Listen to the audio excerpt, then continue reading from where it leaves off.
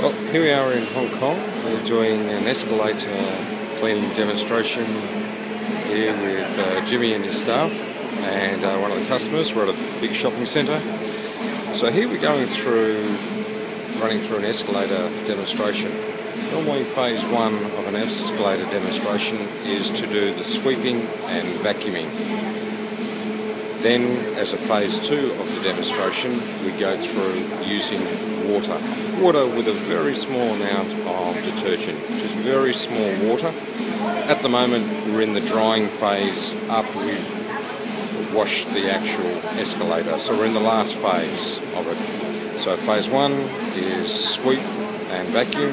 Phase two is just pulsing, very quick pulses of the trigger and then the last phase is really just removing any moisture there, especially if it was very dirty and we've used lots of moisture to, to wash the escalator.